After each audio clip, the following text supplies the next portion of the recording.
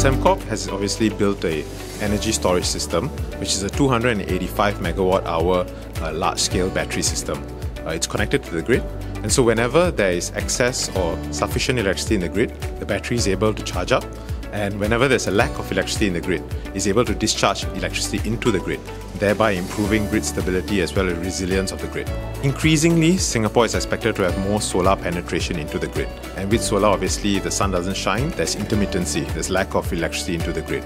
So with the battery system, it's able to improve the resilience of the grid to deal with such intermittency and the battery system we have built here is the largest in Southeast Asia as well. The new facility was built at a speed of six months, making it the fastest to be deployed in the world of this size, and it can power up the requirements of 24,000 HDB households in a single for a single day in a single charge.